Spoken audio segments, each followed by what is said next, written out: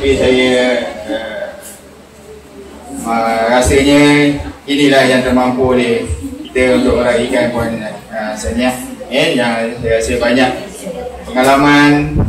uh, bertugas di SK Asam Jawa ini saya dimaklumkan sejak daripada 1995 eh, hingga dah 2015 saya rasa hampir 20 tahun juga lah eh, dia berada di SK Asam Jawa. Jadi saya rasa tanya kepada jawatan kuasa perasan ni ya, kelab guru kaki tangan yang telah berusaha menjadikan majlis ini